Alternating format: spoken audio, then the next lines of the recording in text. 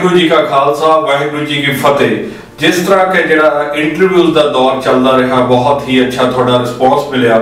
ਦੁਨੀਆ ਦੇ ਹਰ ਕੋਨੇ ਤੋਂ ਸਾਨੂੰ ਫੋਨ ਕਾਲਸ ਵੀ ਆਉਂਦੀਆਂ ਰਹਿੰਦੀਆਂ।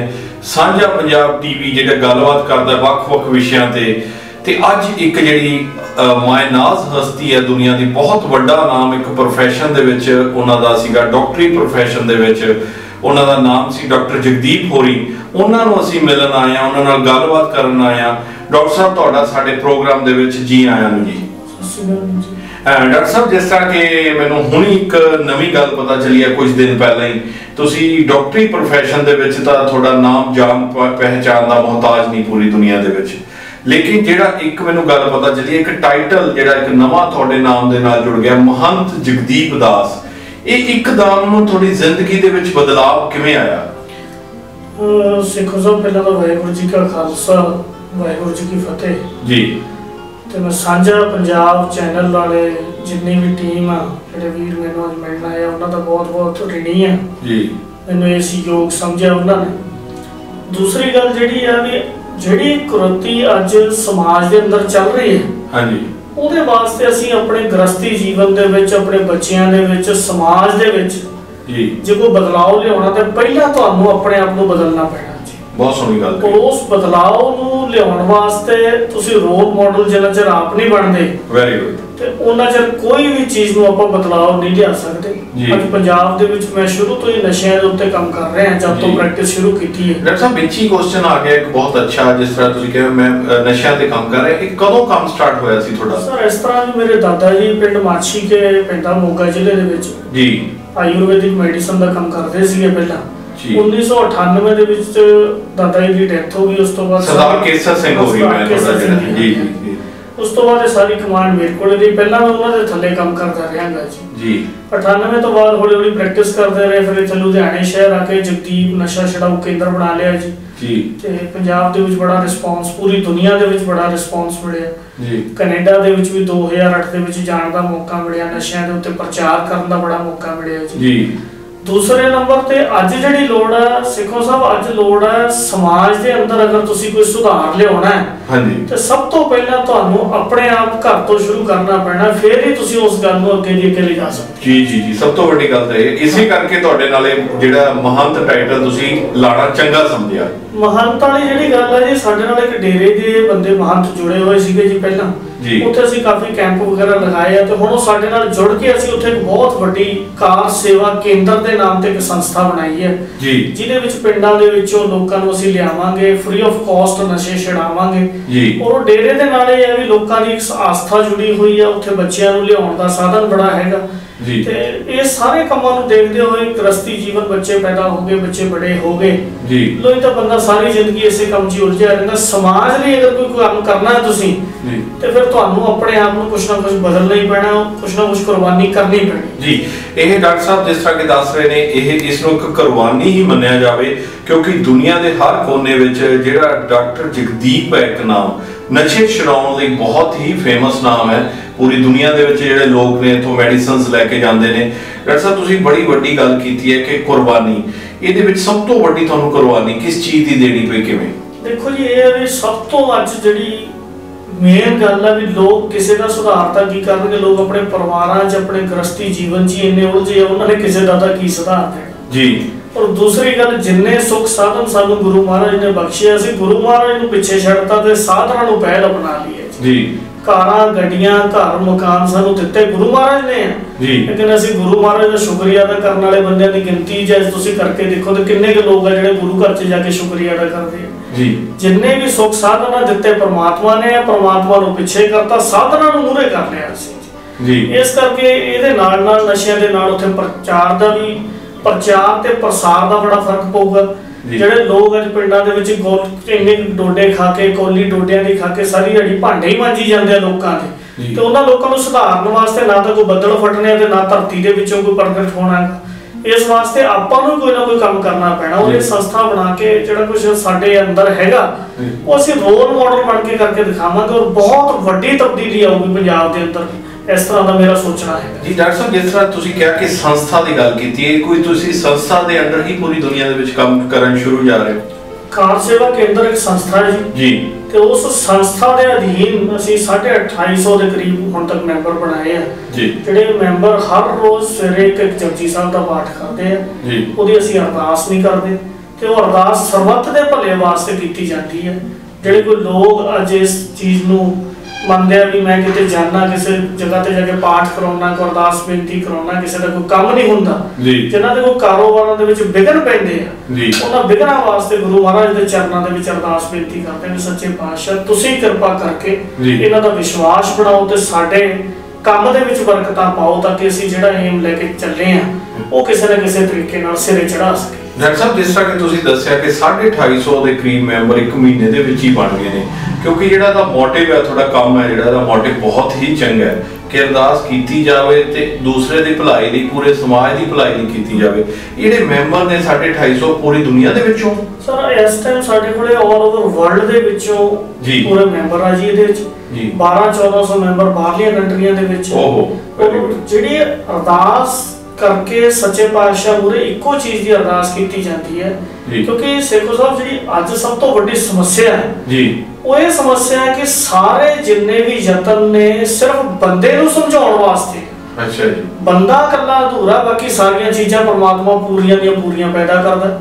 ਤੁਸੀਂ ਦੇਖ ਲਓ ਵੀ ਮੱਝ ਪੂਰੀ ਆ ਪੱਠੇ ਖਾਂਦੀ ਤੇ ਦੁੱਧ ਦਿੰਦੀ ਸਾਹਿਬ ਆ ਬਹੁਤ ਸੋਹਣੀ ਗੱਲ ਕਹੀ ਤੁਸੀਂ ਜਿਸ ਤਰ੍ਹਾਂ ਕਿ ਦੇਖੋ ਲੋਕ ਸੋਚਦੇ ਨੇ ਕਿ ਗੁਰੂ ਗ੍ਰੰਥ ਸਾਹਿਬ ਦੀ ਜਾਂ ਗੀਤਾ ਦੀ ਜਾਂ ਕੁਰਾਨ ਸ਼ਰੀਫ ਦੀ ਜਾਂ ਬਾਈਬਲ ਦੀ ਇਹ ਸਿੱਖਿਆ ਹੈ ਕਿ ਬੰਦਾ ਪੂਰਾ ਹੈ। ਸੋਚਦਾ ਹੈ ਬੰਦਾ ਇਹ ਗੱਲ। ਲੇਕਿਨ ਤੁਸੀਂ ਦੱਸਿਆ ਹੈ ਕਿ ਤੁਸੀਂ ਇੱਕ ਗੱਲ ਨਵੀਂ ਉਠਾਈ ਹੈ ਕਿ ਬੰਦਾ ਪੂਰਾ ਨਹੀਂ ਹੈ। ਕਿਵੇਂ ਉਹ? ਸਰ ਉਹ ਇਸ ਤਰ੍ਹਾਂ ਕਰਕੇ ਹੈ ਵੀ ਜੇ ਬੰਦਾ ਪੂਰਾ 84 ਲੱਖ ਜੂਨ ਦਾ ਮਾਨਸ ਕੀ ਜਾਤ ਸਭ ਏਕੇ ਪਹਿਚਾਨ ਉਹ ਇਹ ਬੰਦੇ ਨੂੰ ਕਹਿਣ ਦੀ ਕੀ ਲੋੜ ਪਈ? ਜੀ। ਜੇ ਬੰਦਾ ਅਧੂਰਾ ਤਾਈਓ ਤੇ ਇਹ ਸਾਰੇ ਸਿਰਫਤਾਂ ਨੇ ਜੀ। ਅੱਜ ਜੇ ਬੰਦਾ ਅਧੂਰਾ ਹੈ ਮੈਂ ਕਹਿੰਦਾ ਤੁਹਾਨੂੰ ਇੱਕ ਸਿੰਪਲ ਜੀ ਮਿਸਾਲ ਇੱਕ ਗਾਂ ਦੀ ਦੇ ਦਿੰਦਾ ਮੈਂ। ਹਾਂਜੀ। ਗਾਂ ਲਿਆਂਦੀ ਲਿਆ ਕੇ ਖੁਰਨੀ ਦੇ ਉੱਤੇ ਬੰਨਤੀ। ਕਦੇ ਦੇਖੇ ਗਾਂ ਵੀ ਨਲਕਾ ਗੇੜ ਕੇ ਪਾਣੀ ਪੀਂਦੀ ਹੋਵੇ? ਵੈਰੀ ਬੰਦਾ ਪੂਰਾ ਤੇ ਜਾ ਕੇ ਨਲਕਾ ਗੇੜਦਾ ਉਹਨੂੰ ਪਾਣੀ ਪਿਉਂਦਾ ਹੈ। ਤੇ ਦੇਖ ਲਓ ਤੁਸੀਂ ਵੀ ਜੇ ਮੱਝ ਪੂਰੀ ਆ ਉਹ ਗਾਂ ਪੱਠੇ ਖਾ ਰਹੀ ਆ ਗਾਂ ਪੂਰੀ ਐ ਇਸ ਕਰਕੇ ਪੱਠੇ ਖਾ ਕੇ ਦੁੱਧ ਦੇ ਰਹੀ ਹੈ। ਜੀ। ਬੰਦਾ ਸਾਰੀਆਂ ਚੀਜ਼ਾਂ ਲੈਂਦਾ ਪਰਮਾਤਮਾ ਤੋਂ ਆ ਤੇ ਹਰੇਕ ਸਮੇਂ ਹਉਮੈ ਦੇ ਬੁਖਾਰ ਦੇ ਵਿੱਚ ਉਲਝਿਆ ਹੋਇਆ ਵੀ ਸਾਰੇ ਕੰਮ ਮੈਂ ਕਰਦਾ। ਸਾਰੇ ਕੰਮਾਂ ਦੇ ਵਿੱਚ ਹੋਮੇ ਦਾ ਬੁਖਾਰ ਆ ਬੰਦੇ ਨੂੰ। ਇਸ ਕਰਕੇ ਜਿਹੜੀ ਗੱਲ ਆ ਪੂਰਾ ਤਾਂ ਇਕੱਲਾ ਪਰਮਾਤਮਾ ਦਾ ਬੰਦੇ ਨੂੰ ਇੱਕ ਯਤਨ ਬਣਾਤਾ। ਕਿ ਸਾਰੀ ਮਨੁੱਖਤਾ ਦੀ ਤੂੰ ਸੇਵਾ ਕਰ ਸਕਦਾ ਤੈਨੂੰ ਇਹ ਜੀ ਸੋਝੀ ਬਖਸ਼ੀ ਹੈ ਇਹਦੇ ਵਿੱਚੋਂ ਇੱਕ ਗੱਲ ਹੋਰ ਵਧੀਆ ਨਿਕਲ ਕੇ ਆਈ ਹੈ ਕਿ ਬੰਦਾ ਨਾ ਸ਼ੁਕਰਗੁਜ਼ਾਰ ਹੈ ਹਾਂਜੀ ਬਿਲਕੁਲ। ਵੱਡੀ ਗੱਲ ਇਹ ਹੈ ਕਿ ਪ੍ਰਮਾਤਮਾ ਨੇ ਇੰਨੀ ਬਖਸ਼ਿਸ਼ ਕੀਤੀ ਹੈ ਬੰਦੇ ਤੇ। ਉਹਨੂੰ ਇੰਨੀਆਂ ਜਿਹੜੀਆਂ ਸੰਭਾਵਨਾਵਾਂ ਦਿੱਤੀਆਂ ਜ਼ਿੰਦਗੀ ਦੇ ਜੀਣ ਦੀਆਂ ਲੇਕਿਨ ਉਹ ਨਾ ਸ਼ੁਕਰਗੁਜ਼ਾਰ ਹੈ ਬਹੁਤ ਦੇਖੋ ਸਾਹਿਬ ਤੁਸੀਂ ਇੱਕ ਗੱਲ ਦੇਖੋਗੇ ਕਿੱਡੇ ਕਿੱਡੇ ਮੀਨਾਰ ਉਹਨਾਂ ਦੇ ਉੱਤੇ ਕਿੱਡੇ ਕਿੱਡੇ ਵੱਡੇ ਅੱਜ ਕੈਮਰੇ ਜੀ। ਕਿੰਨੇ ਕਿੰਨੇ ਸਪੀਕਰ ਲਾ ਕੇ ਕਦੇ ਦੇਖਿਆ ਵੀ ਮੱਝ ਨੂੰ ਸੁਧਾਰਨ ਵਾਸਤੇ ਸਪੀਕਰ ਲੱਗਿਆ ਹੋਵੇ? ਵੈਰੀ ਗੁੱਡ ਕੋ ਕੁੱਤਿਆਂ ਨੂੰ ਸੁਧਾਰਨ ਵਾਸਤੇ ਸਪੀਕਰ ਲੱਗਿਆ ਉਹ ਹੋਵੇ ਸੁਧਰੇ ਹੋਏ ਨੇ ਉਹ ਸੁਧਰੇ ਹੋਏ ਨੇ ਉਹ ਪੂਰੇ ਨੇ। ਪੂਰਨ। ਸਿਰਫ ਤੇ ਸਿਰਫ ਬੰਦਾ ਹੀ ਅਧੂਰਾ ਹੈ ਜਿਹਨੂੰ ਤੁਸੀਂ 84 ਲੱਖ ਜੂਨ ਦਾ ਬਾਦਸ਼ਾਹ ਸਾਡੇ ਲੋਕ ਕਹਿੰਦੇ ਆ ਜੀ। ਵੀ 84 ਲੱਖ ਜੂਨ ਦਾ ਬਾਦਸ਼ਾਹ ਬੰਦਾ। ਜੀ। ਤੇ ਬੰਦੇ ਨੂੰ ਜੰਮਦੇ ਨੂੰ ਮੈਨੂੰ ਦੱਸੋ ਵੀ ਕਿਹੜੀ ਚੀਜ਼ ਆਉਂਦੀ ਹੈ? ਦੁੱਧ ਪੀਣ ਦਾ ਇਹਨੂੰ ਨਹੀਂ ਪਤਾ। ਜੀ। ਹੱਗਣ ਮੂਤਣ ਦਾ ਇਹਨੂੰ ਨਹੀਂ ਪਤਾ ਇਹ ਬੈੱਡ ਤੇ ਕਰੀ ਜਾਂਦਾਗਾ ਜੀ। ਜੀ। ਮੱਝ ਆ ਇੱਕ ਵਾਰ ਸੂਪੀ ਉਹਦੇ ਥਣਾ ਨੂੰ ਕੱਟੇ ਨੂੰ ਲਿਜਾ ਕੇ ਦੁੱਧ ਪਿਉਣ ਲਾਤਾ ਤੇ ਦੂਸਰੀ ਵਾਰ ਮੱਝ ਦੇ ਥਣਾ ਨੂੰ ਦੱਸਣਾ ਨਹੀਂ ਪੈਂਦਾ ਤੇ ਕੱਟੇ ਨੂੰ ਦੱਸਣਾ ਨਹੀਂ ਪੈਂਦਾ ਵੀ ਦੁੱਧ ਪੀ ਲੈ। ਸਿਰਫ। ਬੰਦੇ ਨੂੰ ਇਹ ਸਾਰੀਆਂ ਨੌਲੇਜ ਉਹ ਬੰਦੇ ਨੂੰ ਬੁੜੇ ਹੋਣ ਤੱਕ ਵੀ ਨੌਲੇਜ ਨਹੀਂ ਜੀ ਬੰਦਾ ਬਜ਼ੁਰਗ ਹੋ ਗਿਆ 60 ਸਾਲ ਦਾ ਉਹਨੂੰ ਸਮਝਾਉਣ ਦੀ ਲੋੜ ਆ ਵੀ ਪਾਠ ਕਰਨਾ ਤੁਸੀਂ ਬਹੁਤ ਸੋਹਣੀ ਗੱਲ ਕੀਤੀ ਜਿਵੇਂ ਹੁਣ ਕੈਨੇਡਾ ਦੇ ਵਿੱਚ ਜਾਂ ਅਮਰੀਕਾ ਦੇ ਵਿੱਚ ਜਿਹੜੀਆਂ ਐਡਵਾਂਸਡ ਕੰਟਰੀਆਂ। ਮੈਂ ਇੱਕੋ ਦੇਖ ਰਿਹਾ ਸੀ YouTube ਤੇ ਵੀਡੀਓ ਇੱਕ ਗਾਂ ਹੈ ਮਤਲਬ ਉਹਦੀ ਨਸਲ ਸ਼ਾਇਦ ਤੁਹਾਨੂੰ HF ਦੀ ਗਾਂ। ਐਚਐਫ ਦੀ ਗਾਂ। ਉਹ ਆਪਣੇ ਆਪ ਹੀ ਦੁੱਧ ਕਢਵਾਉਣ ਦੀ ਆਪਣੀ ਮਸ਼ੀਨ ਕੋਲ ਐਟ ਅ ਟਾਈਮ ਪਹੁੰਚ ਜਾਂਦੀ ਹੈ ਜੇ ਸਵਾ ਪੰਜ ਦਾ ਟਾਈਮ ਹੈ ਤਾਂ ਉਸੇ ਟਾਈਮ ਉਸ ਤੋਂ ਬਾਅਦ ਉਹਨਾਂ ਨੇ ਮਸ਼ੀਨਾਂ ਲਗਾਈਆਂ ਉਹਦੇ ਉਹਦੀ ਜਿਹੜੀ ਬਾਡੀ ਹੈ ਉਹਨੂੰ ਸਾਫ਼ ਕਰਨ ਲਈ। ਉੱਥੇ ਪਹੁੰਚ ਜਾਂਦੀ ਹੈ ਉਸੇ ਟਾਈਮ ਟਾਈਮ ਤੇ ਪਹੁੰਚਦੀ ਹੈ ਤੁਸੀਂ ਦੇਖੋ ਜੀ ਸੇਖੋ ਸਾਹਿਬ ਜਿੰਨੇ ਵੀ ਯਤਨ ਬੰਦੇ ਨੂੰ ਸੁਧਾਰਨ ਵਾਸਤੇ ਬਣੇ ਆ ਜੀ। ਉਹ ਸਾਰੇ ਯਤਨ ਫੇਲ ਨੇ ਕਿਉਂਕਿ ਬਾਬੇ ਨਾਨਕ ਤੋਂ ਲੈ ਕੇ ਜਿੰਨੇ ਵੀ ਬੰਦੇ ਇਸ ਦੁਨੀਆ ਤੇ ਆਏ ਆ ਉਹਨਾਂ ਨੇ ਸਿਰਫ ਬੰਦੇ ਨੂੰ ਸੁਧਾਰਨ ਵਾਸਤੇ ਸਾਰੇ ਯਤਨ ਕੀਤੇ। ਜੀ। ਔਰ ਸਭ ਤੋਂ ਹੈਰਾਨੀ ਦੀ ਗੱਲ ਆ ਬੰਦਾ ਇੰਨਾ ਬੇਸ਼ੁਕਰਗੁਜ਼ਾਰ ਹੋ ਗਿਆ ਜਿਵੇਂ ਜਿਵੇਂ ਸੁੱਖ ਸਾਧਨ ਬੰਦੇ ਕੋਲੇ ਬਣਦੇ ਜਾਂਦੇ ਮੈਂ ਤੁਹਾਨੂੰ ਪਿੰਡਾਂ ਦੀ ਮਿਸਾਲ ਦੱਸਦਾ। ਜੀ। ਵੀ ਅੱਜ ਪੂਰਨਮਾਸ਼ੀ ਮੱਸਿਆ ਸੰਗਰਾਂਦ ਦਸਵੀਂ ਤੋਂ ਬਿਨਾਂ ਕੋਈ ਬੰਦੇ ਗੁਰਦੁਆਰੇ ਮੱਥੇ ਨਹੀਂ ਟੇਕਣ ਜਾਂਦੇ। ਹਾਲਾਂਕਿ ਜਾਣ- ਤਾਂ ਇਸ ਕਰਕੇ ਮੈਂ ਰੋਜ਼ ਸੱਚੇ ਪਾਤਸ਼ਾਹ ਤੁਹਾਡੀ ਕਿਰਪਾ ਹੋਈ ਆ। ਮੈਂ ਸਭ ਤੋਂ ਵੱਡੀ ਗੱਲ ਆ ਕਿ ਮੈਨੂੰ ਸਾਰੀ ਸੋਚੀ ਆ। ਮੈਨੂੰ ਸਾਰੀ ਸੋਚੀ ਵੀ ਕੰਧ ਦੇ ਵਿੱਚ ਸਿਰ ਮਾਰਿਆ ਸਿਰ ਫਟ ਜਾਂਦਾ। ਮੈਂ ਕਿਸੇ ਨੂੰ ਕੋਈ ਗਾਲ ਤੋਪੜ ਬੋਲਦਾ ਮੈਂ ਮਾੜੇ ਸ਼ਬਦ ਵਰਤਦਾ। ਇਹ ਸਾਰੀਆਂ ਸੋਚੀਆਂ ਬੰਦੇ ਨੂੰ ਹੋਣ ਤੋਂ ਬਾਅਦ ਵੀ ਸਾਰੀਆਂ ਗਲਤੀਆਂ ਬੰਦਾ ਕਰ ਰਿਹਾ। ਇਹ। ਸਾਰੇ ਯਤਨ ਜਿਹੜੇ ਨੇ ਬੰਦੇ ਨੂੰ ਸਮਝਾਉਣ ਵਾਸਤੇ ਕਿਉਂ? ਕਿਉਂਕਿ ਬੰਦਾ ਇਹੋ ਜਿਹੀ ਚੀਜ਼ਾਂ ਕਰਦਾ ਅੱਜ ਬਲਾਤਕਾਰ ਦੇ ਕੇਸ ਕਿੰਨਾ ਤੇ? ਕਿਸੇ। ਪਸ਼ੂ ਤੇ ਬਲਾਤਕਾਰ ਦਾ ਪਰਚਾ ਹੈਗਾ ਨਾ ਨਾ ਕਦੇ ਕਿਸੇ ਹੋਰ ਚੀਜ਼ ਤੇ ਬਲਾਤਕਾਰ ਦਾ ਪਰਚਾ ਹੈਗਾ ਜੀ। ਇਹ ਸਾਰੀਆਂ ਚੀਜ਼ਾਂ ਦਾ ਜਿਹੜਾ ਸਿਸਟਮ ਉਹ ਬੰਦੇ ਤੇ ਕਿਉਂ ਆ ਕਿਉਂਕਿ ਬੰਦਾ ਬੰਦੇ ਦੀ ਫਿਤਰਤ ਭੁੱਲ ਜਿਸ ਗਿਆ ਤਰ੍ਹਾਂ ਕਿ ਤੁਸੀਂ ਬਹੁਤ ਸੋਹਣੀ ਗੱਲ ਕੀਤੀ ਹੈ ਕਿ ਮੱਸਿਆ ਤੇ ਪੁੰਨਿਆ ਤੇ ਜਾਂ ਕੋਈ ਵੀ ਉਸ ਉਸ ਟਾਈਮ ਤੇ ਗੁਰਦੁਆਰਾ ਸਾਹਿਬ ਜਾਂ ਮੰਦਿਰ ਜਿਹੜੇ ਲੋਕ ਉਹਨਾਂ ਦੇ ਤਿਉਹਾਰ ਆ ਉਦੋਂ ਜਾਂਦੇ ਨੇ ਬੜੀ ਵੱਡੀ ਗੱਲ ਤੁਹਾਡੇ ਇੱਕ ਇਸ ਦੇ ਵਿੱਚੋਂ ਨਿਕਲ ਕੇ ਆਈ ਹੈ। ਹੁਣ ਤਾਂ ਇਹ ਹਾਲ ਹੋ ਗਿਆ ਕਿ ਇੱਕ ਪਿੰਡ ਦੇ ਵਿੱਚ 4 4 8 8 ਗੁਰਦੁਆਰਾ ਸਾਹਿਬ ਬਣਾ ਲਏ ਨੇ ਆਪਣੇ ਆਪਣੇ 10 10 ਬੰਦਿਆਂ ਨੇ ਰਲ ਕੇ। ਜਾਣ ਵਾਲਾ ਕੋਈ ਨਹੀਂ ਉੱਥੇ। ਸਰ ਗੱਲ ਇਹ ਹੈ ਵੀ ਜੇ ਗੁਰਦੁਆਰੇ ਤੁਸੀਂ ਚਾਹੇ ਜਿੰਨੇ ਮਰਜ਼ੀ ਬਣਾਈ ਜਾਓ। ਉਹਦਾ ਛੱਟਾ ਕਿੰਨਾ? ਅਸੀਂ ਜਿੰਨੇ ਵੀ ਲੋਕ ਇਸ ਸਿੱਖੀ ਦਾ ਪ੍ਰਚਾਰ ਕਰ ਰਹੇ ਆ ਅਮਰਤ ਛਕਾਉਣ ਦਾ ਪ੍ਰਚਾਰ ਕਰ ਰਹੇ ਆ ਮਾੜੀ। ਗੱਲ ਨਹੀਂ ਕਿ ਉਹਨਾਂ ਦਾ ਸਾਧਨ। ਜੀ। ਸਾਧਨ ਕਰਕੇ ਯਤਨ ਕਰਕੇ ਪ੍ਰਚਾਰ ਕਰਨਾ ਚਾਹੀਦਾ। ਜੀ। ਲੇਕਿਨ ਸਾਨੂੰ ਆਊਟਪੁੱਟ ਤਾਂ ਤੁਸੀਂ ਦੇਖੋ ਵਿੱਚ ਨਿਕਲ ਕੀ ਰਹੀ ਹੈ। ਜੀ। 50 ਤੋਂ 60% ਲੋਕ ਤਾਂ ਪਿੰਡਾਂ ਵਾਲੇ ਨਸ਼ੇ ਹੀ ਹੋਈ ਜਾ ਰਹੇ। ਡਾਕਟਰ ਸਾਹਿਬ ਇੱਕ ਹੋਰ ਵੱਡੀ ਗੱਲ ਬਹੁਤ ਵੱਡੀ ਕਿਉਂਕਿ ਵਿੱਚ ਹੀ ਰਹਿ ਜਾਣੀ ਹੈ ਉਹ ਗੱਲ ਤੁਹਾਨੂੰ ਇੱਕ ਨਵਾਂ ਮੁੱਦਾ ਛੇੜ ਦਿੱਤਾ ਪੂਰੀ ਦੁਨੀਆ ਦੇ ਉੱਤੇ ਇਹ ਗੱਲਬਾਤ। ਆਉਣ ਵਾਲੇ ਸਮੇਂ ਦੇ ਵਿੱਚ ਇਹ ਮੁੱਦਾ ਇੱਕ ਬਣਨਾ ਚਾਹੀਦਾ ਵੀ ਹੈ। ਕਿ ਮੈਨੂੰ ਐ ਫੀਲ ਹੁੰਦਾ ਹੈ ਕਿ ਅਲੱਗ-ਅਲੱਗ ਸਮਾਜ ਦੇ ਜਿਹੜੇ ਲੋਕ ਨੇ ਅਗਰ ਆਪਾਂ ਆਪਣੇ ਸਿੱਖ ਧਰਮ ਦੀ ਗੱਲ ਕਰੀਏ ਮੈਨੂੰ ਲੱਗਦਾ ਕਿ ਦੁਨੀਆ ਦੇ ਵਿੱਚ ਉਨੇ ਲੋਕ ਨਹੀਂ ਹੋਣੇ ਜਿੰਨੇ ਕਹਿੰਦੇ ਕਿ ਅੰਮ੍ਰਿਤ ਛਕਿਆ ਗਿਆ ਉਹਨੇ ਲੋਕਾਂ ਨੇ ਕਿ ਇੰਨੇ ਲੋਕਾਂ ਨੇ ਅੰਮ੍ਰਿਤ ਛਕ ਲਿਆ। ਜਦੋਂ ਆਪਾਂ ਉਹਨੂੰ ਟੋਟਲ ਕਰਦੇ ਆ ਤੇ ਇੰਨੇ ਲੋਕਾਂ ਨੇ ਅੰਮ੍ਰਿਤ ਛਕ ਲਿਆ ਬਹੁਤ ਅੱਛੀ ਗੱਲ ਹੈ ਲੋਕ ਅੰਮ੍ਰਿਤ ਛਕ ਰਹੇ ਨੇ। ਲੇਕਿਨ ਜਿਹੜੇ ਦੂਸਰੇ ਰਸਤੇ ਤੇ ਲੋਕ ਜਾ ਰਹੇ ਨੇ ਉਹਨਾਂ ਦੀ ਤਾਦਾਦ ਕੁਝ ਜ਼ਿਆਦਾ ਨਹੀਂ ਹੈ। ਦੇਖੋ ਜੀ ਜਿਹੜੀ ਅੰਮ੍ਰਿਤ ਦਾ ਪ੍ਰਚਾਰ ਕਰਨ ਵਾਲੇ ਬੰਦੇ ਆ ਜੀ। ਸਭ ਤੋਂ ਪਹਿਲਾਂ ਤਾਂ ਮੈਂ ਸਮਝਦਾ ਵੀ ਅੰਮ੍ਰਿਤ ਛਕਾਓ ਜ਼ਰੂਰ ਗੁਰੂ ਦਾ ਸਿੱਖ ਪੂਰਾ ਹੋਣਾ ਚਾਹੀਦਾ। ਜੀ। ਸਿੱਖ ਪੌਂ ਬਣਨ ਤੋਂ ਪਹਿਲਾਂ ਉਹਦੇ ਪੂਰੇ ਸ਼ਰਤਾਂ ਹੋਣੀਆਂ ਚਾਹੀਦੀਆਂ। ਦੂਸਰੀ ਗੱਲ ਉਹ ਨਿਤਨੇਮ ਹੋਣਾ ਚਾਹੀਦਾ। ਸਾਲ ਭਰ ਦੀ ਉਹਨੂੰ ਟ੍ਰੇਨਿੰਗ ਹੋਣੀ ਚਾਹੀਦੀ ਵੀ ਤੂੰ ਨਿਤਨੇਮ ਕਰ ਸਕਦਾ ਸਵੇਰੇ ਉੱਠ ਸਕਦਾ ਅੰਮ੍ਰਿਤ ਵੇਲੇ ਕੱਪੜੇ ਪਾ ਸਕਦਾ ਤੈਨੂੰ ਕਸ਼ਹਿਰਾ ਪਾਉਣ ਦੀ ਯਤਨ ਹੈਗੀ ਤੂੰ ਝੂਠ ਤਾਂ ਨਹੀਂ ਬੋਲਦਾ। ਤੇਰਾ ਜੀਵਨ ਸਾਫ਼ ਸੁਥਰਾ ਹੈਗਾ ਤੂੰ ਕਿਸੇ ਨਾਲ ਠੱਗੀ ਠੋਰੀ ਤਾਂ ਨਹੀਂ ਮਾਰਦਾ। ਹੁਣ ਅੱਜ ਸਿਸਟਮ ਕੀ ਆ ਵੀ ਜਿਹਨੇ ਅੰਮ੍ਰਿਤ ਬਣਾਇਆ ਉਹਨੇ 4.5 ਫੁੱਟ ਦੀ ਕਿਰਪਾਨ ਕੱਢ ਕੇ ਕਿਹਾ ਵੀ ਪਹਿਲਾਂ ਮਰਨ ਕਬੂਲ ਕਰ ਜੀਵਨ ਕੀ ਛੱਡਾਸ ਜੀ। ਤੇ ਪਰ ਅੱਜ ਸਿਸਟਮ ਉਲਟ ਹੋ ਗਿਆ ਅੱਜ ਅੰਮ੍ਰਿਤ ਛਕਾਉਣ ਵਾਲੇ ਕਹਿੰਦੇ ਵੀ ਸਾਰੇ ਕਕਾਰ ਫ੍ਰੀ ਦੇਵਾਂਗੇ ਅੰਮ੍ਰਿਤ ਛਕ ਲਓ ਜੀ। ਇਸੇ ਕਰਕੇ ਅੰਮ੍ਰਿਤ ਦੀ ਕੀਮਤ ਸਾਡੀ ਵੈਲਿਊ ਜਿਹੜੀ ਉਹਦੀ ਜ਼ੀਰੋ ਕਰਤੀ ਇਹਦਾ ਮਤਲਬ ਵੀ ਤੁਸੀਂ ਕਹਿ ਰਹੇ ਹੋ ਕਿ ਜੇ ਉਹ ਕਕਾਰ ਖਰੀਦਣ ਲਈ ਉਹਦੇ ਕੋਲ ਆਪਣਾ ਉਹ ਨਹੀਂ ਹੈਗਾ ਮਨ ਦੇ ਵਿੱਚ ਜਜ਼ਬਾ ਨਹੀਂ ਹੈਗਾ ਹਾਂਜੀ। ਤਾਂ ਉਹ ਅੰਮ੍ਰਿਤ ਨੂੰ ਨਿਭਾਏਗਾ ਕਿਵੇਂ ਉਹ ਕਿਵੇਂ ਨਿਭਾਊਗਾ ਅੱਜ। ਅੰਮ੍ਰਿਤ ਛਕ ਕੇ ਬੰਦਾ ਉਹ ਕਿਸ ਤਰ੍ਹਾਂ ਇਹ ਸੋਚ ਰੱਖੂਗਾ ਵੀ ਮੈਂ ਅੰਮ੍ਰਿਤ ਛਕ ਲਿਆ ਮੈਂ ਲੋਕਾਂ ਦੇ ਨਾਲ ਦਸਵੰਧ ਵੀ ਕੱਢਣਾ। ਲੋਕਾਂ ਦੇ ਬੱਚਿਆਂ ਵਾਸਤੇ ਵੀ ਕੋਈ ਕਾਰੋਬਾਰ ਕਰਨੇ ਆ। ਲੋਕਾਂ ਦੇ ਬੱਚੇ ਪੜਾਉਣੇ ਵੀ ਆ। ਅੱਜ ਪਿੰਡਾਂ ਦੇ ਵਿੱਚ ਕਿੱਡੇ ਕਿੱਡੇ ਯਤਨ ਕੀਤੇ ਜਾ ਰਹੇ ਵੀ ਅੰਮ੍ਰਿਤ ਛਕ ਜੀ। ਅੰਮ੍ਰਿਤ ਛਕਿਆ ਜਿਹੜਾ ਬੰਦੇ ਨੇ ਉਹ ਅੰਮ੍ਰਿਤ ਛਕ ਕੇ ਇੱਕੋ ਚੀਜ਼ ਦੇ ਉੱਤੇ ਇਹ ਚੱਕੀ ਫਿਰਦਾ ਵੀ ਮੈਂ ਅੰਮ੍ਰਿਤ ਛਕਿਆ ਬਾਕੀਆਂ ਦੀ ਮੈਂ ਗੱਲ ਨਹੀਂ ਸੁਣਦਾ ਜੀ। ਇਹ ਵੀ ਹਉਮੈ ਆ ਇੱਕ ਬੰਦਾ ਨਿਤਨੇਮ ਕਰਨ ਲੱਗ ਗਿਆ ਉਹ ਕਹਿੰਦਾ ਮੈਂ ਨਿਤਨੇਮ ਕਰਨਾ ਮੈਂ ਬਾਕੀਆਂ ਦੀ ਗੱਲ ਨਹੀਂ ਸੁਣਦਾ ਇਹ ਵੀ ਹਉਮੈ ਆ ਜੀ ਮਹਾਰਾਜ ਨੇ ਇਹ ਮਾਇਆ ਮੋਹਣੀ ਜਿਨ ਬਿਨ ਦੰਤਾ ਜਗ ਖਾਇਆ। ਇਹ ਮਾਇਆ ਮੋਹਣੀ ਕੱਲੇ ਰੁਪਈਆਂ ਦੀ ਮਾਇਆ ਨਹੀਂ ਇਹ ਜੇ। ਸਾਨੂੰ ਜੇ ਸਾਨੂੰ ਇਹ ਚੀਜ਼ ਦਾ ਹੰਕਾਰ ਆ ਵੀ ਮੈਂ ਬਹੁਤਾ ਜ਼ਿਆਦਾ ਪਾਠ ਕਰਦਾ ਇਹ ਵੀ ਮਾਇਆ ਲੋਭ ਇਹ ਜਿਹੜੀ ਮੇਰੀ ਚੀਜ਼ ਆ ਵੀ ਮੇਰੇ ਕੋਲ ਬਾਹਲੀ ਵੱਡੀਆਂ ਗੱਡੀਆਂ ਇਹ ਵੀ ਮਾਇਆ। ਮੇਰਾ ਘਰ ਬਹੁਤਾ ਵੱਡਾ ਇਹ ਵੀ ਮਾਇਆ ਇਹ ਮਾਇਆ ਦੇ ਇਸ ਦਾ ਸਾਰਾ ਸੰਸਾਰ।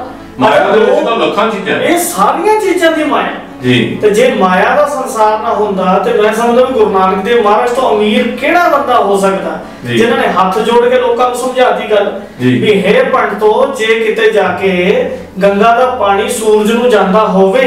ਤੇ ਆਹ ਪਾਣੀ ਚੱਲਿਆ ਕਰਤਾਰਪੁਰ ਦੇ ਖੇਤਾਂ ਨੂੰ ਲੇਕਿਨ ਉਹਨਾਂ ਨੂੰ ਗੱਲ ਸਮਝ ਆ ਗਈ। ਗੁਰੂ ਨਾਨਕ ਸਾਹਿਬ ਦੀ ਗੱਲ ਵੀ ਪੂਰੀ ਸੀ ਤੇ ਸਮਝਣ ਵਾਲੇ ਵੀ ਪੂਰੇ ਸੀ। ਅੱਜ ਜਿੰਨੇ ਯਤਨ ਕੀਤੇ ਜਾ ਰਹੇ ਆ ਜੇ ਤੁਸੀਂ ਕਿਸੇ ਨੂੰ ਕਹਿੰਦੇ ਹੋ ਵੀ ਤੂੰ ਇਹ ਨਸ਼ੇ ਵਾਲੀ ਗੱਲ ਨਹੀਂ ਵਰਤਣੀ ਜਾਂ ਚੈਨੀ ਖੈਣੀ ਨਹੀਂ ਖਾਣੀ ਜਿਹਦੇ ਗੁਰੂ ਦਾ ਘੋੜਾ ਨਾ ਤਮਾਕੂ ਦੇ ਖੇਤ ਦੇ ਵਿੱਚ ਵੜਿਆ ਹੋਵੇ ਤੇ ਹਰ ਚੌਥਾ ਬੰਦਾ ਪਟਾਕੇ ਪਾ ਪਾ ਕੇ ਤਲੀਆਂ ਤੇ ਚੜਦਾ ਖਾਵੇ।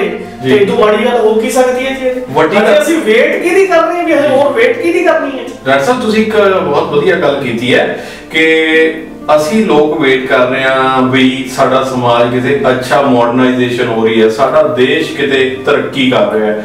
ਪਰ ਜਿਹੜਾ ਇਸ ਤਰ੍ਹਾਂ ਦਾ ਧਾਰਮਿਕ ਜਦੋਂ ਇਹਨੂੰ ਮੁੱਦੇ ਨੂੰ ਨਾਲ ਜੋੜਦੇ ਹਾਂ ਆਪਾਂ ਧਾਰਮਿਕ ਗੱਲਾਂ ਨੂੰ ਨਾਲ ਜੋੜਦੇ ਹਾਂ ਤਾਂ ਸਾਡਾ ਜਿਹੜਾ ਪੂਰਾ ਸਮਾਜ ਹੈ ਉਹ। ਗਰਕ ਰਿਹਾ ਮੈਨੂੰ ਫੀਲ ਹੁੰਦਾ। ਬਿਲਕੁਲ ਠੀਕ ਹੈ ਜੀ। ਜੀ ਤੁਸੀਂ ਦੇਖੋ ਵੀ ਇੱਕ ਗੱਲ ਮੈਂ ਤੁਹਾਨੂੰ ਛੋਟੀ ਜਿਹੀ ਗੱਲ ਦੀ ਉਦਾਹਰਨ ਦਿੰਦਾ। ਜੀ। ਜੇ ਤੁਸੀਂ ਕਹਿੰਦੇ ਹੋ ਵੀ ਸਮਾਜ ਦੇ ਵਿੱਚ ਸੁਧਾਰ ਹੋਵੇ ਜੀ। ਸੁਧਾਰ ਕਰੂ ਕੌਣ ਜੀ? ਜੀ। ਸੁਧਾਰ ਕਰਨ ਵਾਸਤੇ ਬੱਦਲ ਫਟਣੇ ਨਹੀਂ ਜੀ ਹਾਂ। ਅਸਮਾਨ ਤੋਂ ਕੋਈ ਬਹੁਤ ਵੱਡੇ ਵੱਡੇ ਦੇਵਤਿਆਂ ਨੇ ਥੱਲੇ ਤੋਂ ਉਤਰਨਾ ਨਹੀਂ ਗਿਆ ਇਹ ਕਿਹੜਾ ਕਾਰਟੂਨ ਫਿਲਮ ਬਣ ਰਹੀ ਹੈ। ਹਾਂ। ਅਸਮਾਨ ਤੋਂ ਉਤਰਨਾ ਕਿਸੇ ਨੇ ਨਹੀਂਗਾ ਧਰਤੀ ਫਟਣੀ ਨਹੀਂਗੀ ਐਨੀਮੇਸ਼ਨ ਨਹੀਂ ਹੈ। ਐਨੀਮੇਸ਼ਨ ਨਹੀਂ ਹੈਗਾ। ਹਾਂ। ਤੁਹਾਨੂੰ ਪ੍ਰੈਕਟੀਕਲੀ ਗੱਲ ਕਰਨੀ ਪਊਗੀ। ਹਾਂ। ਗੁਰੂ ਮਹਾਰਾਜ ਨੇ ਕਿਹਾ ਵੀ ਰੰਗ ਰੋਵੇ ਰੰਗ ਹੱਸੇ ਰੰਗ ਰੋਵੇ ਚੁੱਪ ਵੀ ਕਰ ਜਾਏ। ਜੀ। ਹੁਣ ਰੰਗ ਦੀ ਪਰਿਭਾਸ਼ਾ ਵੀ ਲਾਲ ਬੱਤੀ ਹੋ ਗਈ ਗੱਡੀ ਖੜਾ ਲਓ। ਪਰ ਲਾਲ ਬੱਤੀਆਂ ਤੇ ਹਜ਼ਾਰਾਂ ਐਕਸੀਡੈਂਟ ਹੋਈ ਜਾਂਦੇ ਸਾਨੂੰ ਇਹ ਗੱਲਾਂ ਸਮਝਾਉਣ ਲਾਲ ਬੱਤੀ ਦੀ ਡੈਫੀਨੇਸ਼ਨ ਦਿੱਤੀ ਬੰਦੇ ਵਾਸਤੇ ਹੈ। ਜਿਹੜੇ ਕੁੱਤੇ ਦੀ ਡੈਫੀਨੇਸ਼ਨ ਦਿੱਤੀ ਹੈ ਕਿਸੇ ਨੇ ਵੀ ਲਾਲ ਬੱਤੀ ਹੋ ਗਈ ਉੱਤੇ ਖੜ ਜਾ ਹਾਂ। ਪਰ ਕਿੰਨੀ। ਗੱਲ ਆ ਵੀ ਲਾਲ ਬੱਤੀ ਤੇ ਬੰਦਾ ਖੜਨ ਨੂੰ ਤਿਆਰ ਨਹੀਂ ਗਾ ਉਹ ਵਿੱਚ ਮਾਰਦਾ ਕਿਸੇ ਦੇ ਕੁੱਤਾ ਖੜ ਜਾਂਦਾ ਸ਼ਾਇਦ। ਕੁੱਤਾ ਖੜ ਜਾਂਦਾ ਕੁੱਤੇ ਨੂੰ ਸਿਖਾ ਦੋ ਵੀ ਇਹ ਮੇਰਾ ਮਾਲਕ ਆ ਉਹ ਉਹ ਦੂਸਰਾ ਬੰਦਾ ਤੂੰ ਤੂੰ ਮੈਂ ਮੈਂ ਕਰਕੇ ਕਰ ਉਹਦੀ ਲੱਤ ਫੜ ਲੂ। ਪਰ ਉਹਨੂੰ ਮਾਲਕ ਦੀ ਵਫਾਦਾਰੀ। ਹੈ ਅੱਜ ਘਰਾਂ ਦੇ ਵਿੱਚ ਕਤਲ ਕਿੰਨਾ ਦੇ ਹੋ ਰਹੇ ਆ ਜਿਹੜੇ ਜਵਾਕ ਅਸੀਂ ਪਾਲੇ ਆ ਸਾਡੀ ਰੇਤ ਕਰਕੇ ਉਹ ਗਰਦਨ ਵੜਤੀ। ਜਾਇਦਾਦ ਪਿੱਛੇ ਜਨਾਨੀਆਂ ਮਾਰਤੀਆਂ ਜਾਇਦਾਦ ਪਿੱਛੇ ਸਾਡੇ ਪਰਿਵਾਰ ਕਤਲ ਹੋ ਰਹੇ ਆ ਜੀ। ਇਹਦਾ ਮਤਲਬ ਜਿੱਥੇ ਅਸੀਂ ਬੇਸ਼ੁਕਰੇ ਹੋ ਰਹੇ ਆ। ਉੱਥੇ ਨਾਲ ਨਾਲ ਅਸੀਂ ਕ੍ਰਿਮੀਨਲ ਬੰਦੇ ਵੀ ਬਣ ਰਹੇ ਤੁਸੀਂ ਕੀ ਸੋਚਦੇ ਹੋ ਕਿ ਅਸੀਂ ਕਿਸੇ ਜਿਹੜਾ ਇਹ ਮਟੀਰੀਅਲਿਸਟਿਕ ਵਰਡ ਹੈ ਇਹਦੇ ਗੁਲਾਮ ਨਹੀਂ ਬਣ ਰਹੇ 100% ਗੁਲਾਮ ਇਹਦੇ। ਜੀ। ਜਿਹੜਾ ਬੰਦਾ ਈਸ਼ਵਰ ਨੇ ਮੈਂ ਥੋੜੇ ਦਿਨ ਪਹਿਲਾਂ ਇੱਕ ਸੰਸਥਾ ਦੇ ਵਿੱਚ ਬੋਲਣ ਗਿਆ ਜੀ। ਉਹ ਕਹਿੰਦੇ ਜੀ ਫਲਾਣੇ ਪ੍ਰਧਾਨ ਜੀ ਦੀ ਡੈਥ ਹੋ ਗਈ ਉਹਨਾਂ ਦਾ ਹਾਰਟ ਅਟੈਕ ਨਾਲ ਡੈਥ ਹੋਈ ਆ ਹਾਰਟ ਬੰਦ ਹੋ ਗਿਆ। ਮੈਂ ਕਿਹਾ ਹਾਰਟ ਬੰਦ ਹੋ ਗਿਆ ਤਾਂ ਫਿਰ ਕੰਨਾਂ ਦੇ ਵਿੱਚ ਦੀ ਫੂਕ ਮਾਰ ਦੋ। ਮੂੰਹ ਦੇ ਵਿੱਚ ਦੀ ਪਾਣੀ ਅੰਦਰ ਭੇਜ ਦੋ ਹਾਰਟ ਬੰਦ ਹੋਇਆ ਮੂੰਹ ਤਾਂ ਨਹੀਂ ਬੰਦ ਹੋਇਆ ਜੀ ਇਹ ਸਾਰਾ ਸਿਸਟਮ ਜਿਹੜਾ ਚਲਾ ਰਿਹਾ ਬੰਦੇ ਦਾ ਇਹ ਕੋਈ ਹੋਰ ਆ ਬੰਦੇ ਨੂੰ ਇਹਦੇ ਲਈ ਸ਼ੁਕਰੀਆ ਦਾ ਕਰਨਾ ਚਾਹੀਦਾ। ਔਰ ਇੰਨਾ ਕੁ ਸ਼ੁਕਰੀਆ ਦਾ ਹੋਣਾ ਚਾਹੀਦਾ ਵੀ ਸੱਚਾ ਪਾਤਸ਼ਾਹ ਤੇਰੀ ਕਿਰਪਾ ਨਾਲ ਅੱਖਾਂ ਦਿੱਤੀਆਂ ਨੇ ਬਹੁਤੇ ਬੰਦੇ ਅੰਨੇ ਆ ਜੀ ਬਹੁਤੇ ਬੰਦੇ ਲੰਗੜੇ ਲੂਲੇ ਬਣਾਏ ਆ ਉਹਨੇ ਜੀ। ਉਹ ਜੇ ਉਹ ਗੁਰਦੁਆਰੇ ਜਾ ਕੇ ਨਾਮ ਨਤਮਕਸਦ ਹੁੰਦੇ ਆ ਮੱਥਾ ਟੇਕਦੇ ਆ ਮੰਦਰਾਂ ਦੇ ਵਿੱਚ ਘੰਡਿਆਲ ਏਡੇ ਏਡੇ ਵੱਜ ਰਹੇ ਆ ਉਹ ਕਿਤੇ ਬੇਵਕੂਫ ਨੇ ਜੀ। ਪਰ ਅੱਜ ਹੈਰਾਨੀ ਦੀ ਗੱਲ ਆ ਵੀ ਸਿੱਖ ਕੌਮ ਵਾਲੇ ਕਹਿੰਦੇ ਵੀ ਟੱਲੀ ਵਜਾ ਕੇ ਰੱਬ ਮਿਲ ਜੇ ਜਿਨ੍ਹਾਂ ਨੂੰ ਪੈਦਾ ਟੱਲੀ ਵਜਾਉਣ ਵਾਸਤੇ ਕੀਤਾ ਉਹ ਕਹਿੰਦੇ ਵੀ ਆਹ ਤਵੀਤ ਘੋਲ ਕੇ ਪੀ ਲਈਏ ਤਾਂ ਹਰ ਬੰਦਾ ਦੂਸਰੇ ਧਰਮ ਦੇ ਅਡਾਪਟ ਕਰਨ ਵਾਲੇ ਪਾਸੇ ਤੁਰਿਆ ਉਹ ਇਹ ਨਹੀਂ ਸਮਝ ਆ ਰਹੀ ਵੀ। ਜਿਹੜੇ ਧਰਮ 'ਚ ਮੈਂ ਪੈਦਾ ਹੋਇਆ ਮੈਂ ਉਹਦਾ ਸ਼ੁਕਰੀਆ ਅਦਾ ਕਰਾਂ ਈਸ਼ਵਰ ਨੇ ਆਪਣੇ ਆਪ ਹੀ ਸਾਰੇ ਰਸਤੇ ਦਿਖਾਉਣੇ ਡਾਕਟਰ ਸਾਹਿਬ, ਇੱਕ ਮਨ ਦੇ ਵਿੱਚ ਗੱਲ ਆਈ ਹੈ। ਦੇਖੋ, ਇਹ ਇਹ ਤਾਂ ਬੜੀ ਸ਼ੁਕਰਗੁਜ਼ਾਰ ਆ ਅਸੀਂ ਕਿ ਉਹਨੇ ਆਪਾਂ ਨੂੰ ਇੰਨਾ ਕੁਝ ਦਿੱਤਾ। ਇਹ ਮਟੀਰੀਅਲਿਸਟਿਕ ਵਰਡ ਵੀ ਉਹਨੇ ਦਿੱਤਾ। ਲੇਕਿਨ ਅਸੀਂ ਇਹਦੇ ਗੁਲਾਮ ਹੋ ਗਏ ਲੇਕਿਨ ਇੱਕ ਬੜੀ ਮਨ ਦੇ ਵਿੱਚ ਗੱਲ ਆਉਂਦੀ ਹੈ। ਮੇਰੀ ਰੋਜ਼ ਹੀ ਆਉਂਦੀ ਹੈ ਸਵੇਰੇ। ਤੁਸੀਂ ਉਹਦੇ ਬਾਰੇ ਕੀ ਕਹੋਗੇ? ਕਿ ਜਦੋਂ ਆਪਾਂ ਉੱਠਦੇ ਆ ਸਵੇਰੇ, ਰਾਤ ਨੂੰ ਸੌਂਦੇ ਆ ਉਹ ਇੱਕ ਮੌਤ ਦਾ ਦੌਰ ਹੀ ਹੁੰਦਾ ਹੈ। ਮੌਤ ਦੇ ਵਿੱਚ ਵੀ ਜਦੋਂ ਮੌਤ ਆਉਣੀ ਹੈ ਤਾਂ ਬੰਦੇ ਨੂੰ ਐਵੇਂ ਫੀਲ ਹੋਣਾ ਹੈ ਕਿ ਉਹ ਸੌਂ ਗਿਆ ਸਦਾ ਲਈ, ਕਿਉਂਕਿ ਸੋਝੀ ਨਹੀਂ ਹੁੰਦੀ ਸਮਾਜ ਦੀ। ਜਦੋਂ ਆਪਾਂ ਸਵੇਰੇ ਉੱਠਦੇ ਆ ਆਪਣੇ ਸਾਹ ਚੱਲ ਰਹੇ ਹੁੰਦੇ ਨੇ ਇਹ ਕੋਈ ਛੋਟੀ ਗੱਲ ਹੈ? ਦੇਖੋ ਜੀ ਜਿਹੜੇ ਬੰਦਿਆਂ ਨੂੰ ਈਸ਼ਵਰ ਚੇਤੇ ਆ ਪਰਮਾਤਮਾ ਚੇਤੇ ਆ ਜੀ। ਸਭ ਤੋਂ ਹੈਰਾਨੀ ਦੀ ਗੱਲ ਤਾਂ ਇਹ ਹੈ। ਜੀ। ਦੂਸਰੀ ਗੱਲ ਜਿਹੜੇ ਬੰਦੇ ਪਰਮਾਤਮਾ ਨੂੰ ਚੇਤੇ ਕਰਦੇ ਆ ਉਹ ਕਦੇ ਵੀ ਅੰਮ੍ਰਿਤ ਵੇਲਾ ਨਹੀਂ ਵਿਸਾਰਦੇ। ਜੀ। ਅੰਮ੍ਰਿਤ ਵੇਲੇ ਦਾਤਾ ਨੇ ਤੁਸੀਂ ਦੇਖੋ ਵੀ ਜਿਵੇਂ ਡੀਸੀ ਸਾਹਿਬ ਨੇ 10 ਵਜੇ ਆ ਕੇ ਕੁਰਸੀ ਤੇ ਬਹਿਣਾ। ਹੁਣ ਜੇ 7 ਵਜੇ ਆ ਕੇ ਡੀਸੀ ਸਾਹਿਬ ਬਹਿ ਜਾਣਗੇ ਤੇ ਉੱਥੇ ਆਊਗਾ ਕੌਣ. ਇਹ ਟਾਈਮ ਆ ਸਾਰੀਆਂ ਚੀਜ਼ਾਂ ਦਾ। ਗੁਰੂ ਮਹਾਰਾਜ ਨੇ ਲੋਕਾਂ ਨੂੰ ਬੰਦੇ ਨੂੰ ਸਮਝਾਉਣ ਵਾਸਤੇ ਕਿੰਨੇ ਯਤਨ ਕੀਤੇ ਵੀ ਬੰਦਿਆ ਅੰਮ੍ਰਿਤ ਵੇਲਾ ਸੱਚ ਲੋ ਵਡਿਆਈ ਵਿਚਾਰ ਕਰਨੀ ਆਵੇ ਕਪੜਾ ਨਦਰੀ ਮੋਖ ਜੀ। ਸਾਰੇ ਯਤਨ ਬੰਦੇ ਨੂੰ ਸੁਧਾਰਨ ਵਾਸਤੇ ਪਰ ਤੁਸੀਂ ਦੇਖੋ ਕਿ ਇਹੋ ਜਿਹੇ ਬੰਦੇ ਜਿਹੜੇ 10 ਵਜੇ ਤੱਕ ਰਜਾਈਆਂ ਚੋਂ ਨਹੀਂ ਨਿਕਲਦੇ। ਤੇ ਜੇ ਨਿਕਲਦੇ ਆ ਤੇ ਸਾਡੇ ਅੱਜ ਸੁੱਖ ਸਾਧਨਾ ਦੇ ਚੱਕਰਾਂ 'ਚ ਉਲਝੇ ਹੋਏ ਆ। ਅਸੀਂ ਕਿੰਨੇ ਕੁ ਲੋਕ ਆ ਜਿਹੜੇ ਪਰਮੇਸ਼ਰ ਦਾ ਸ਼ੁਕਰੀਆ ਅਦਾ ਕਰਦੇ ਆ? ਸਭ ਤੋਂ ਪਹਿਲਾਂ ਸਾਨੂੰ ਕਿਸੇ ਨੂੰ ਸਮਝਾਉਣ ਤੋਂ ਪਹਿਲਾਂ ਆਪਣੇ ਆਪ ਦੇ ਅੰਦਰ ਝਾਤੀ ਮਾਰਨੀ ਪੈਣੀ ਹੈ ਤਾਂ ਜਾ ਕੇ ਕੋਈ ਸੁਧਾਰ ਹੋਣਾ ਨਾ ਕੋਈ ਬੱਦਲ ਫਟਣੇ ਆ ਨਾ ਧਰਤੀ ਦੇ ਵਿੱਚੋਂ ਕੋਈ ਪ੍ਰਗਟ ਹੋਣੀ ਹੈ ਗੱਲ ਨਾ ਕੋਈ ਦਰਿਆ ਦੇ ਵਿੱਚੋਂ ਕੋਈ ਇਹੋ ਜਿਹੀਆਂ ਚੀਜ਼ਾਂ ਹੋਣੀਆਂ ਨੇ ਨਾ ਕੋਈ ਦੇਵੀ ਦੇਵਤਿਆਂ ਦਾ ਵਾਸ ਹੋਣਾ ਜਿਨ੍ਹਾਂ ਨੇ ਆ ਕੇ ਸਾਰੀਆਂ ਚੀਜ਼ਾਂ ਖਤਮ ਕਰਨੀਆਂ। ਤੁਹਾਡੇ ਜਰੀਏ ਨਾਲ ਮੈਂ ਲੋਕਾਂ ਨੂੰ ਸਾਂਝਾ ਪੰਜਾਬ ਚੈਨਲ ਦੇ ਜਰੀਏ ਨਾਲ ਦੱਸਣਾ ਚਾਹੁੰਦਾ।